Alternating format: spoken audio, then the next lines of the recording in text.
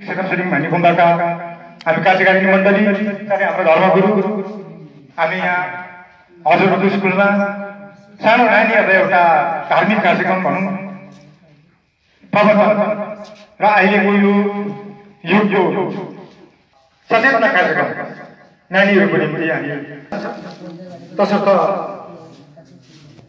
आजका यस कार्यक्रमका मुख्य हाम्रा सभापतिको भार हाम्रै गुम्बाका समितिका अध्यक्ष महोदय श्रीमती रिन्छन लमो ज्यूलाई आसन ग्रहण छपट्टि जाँदछ। त्यसरी नै आध्यात्मिक अनात्मा आत्मा चेतना कन्सियस प्रति जाँदछ। यसर्थ दुई माध्यम भएको कारणले गर्दा हजुरहरूलाई यस कार्यक्रममा दुइटै कुरोलाई छुवाएर लानुपर्ने भएको छन् किनभने समय पनि अनुकूलता भएको कारणले गर्दा। र विशेष हामीले प्रथम गुरु धर्मसँग ध्यान दिनुपर्ने कुराहरू आएको रहेछन्। र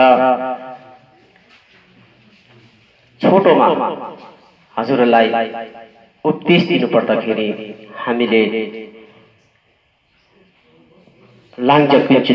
भनेको छन्।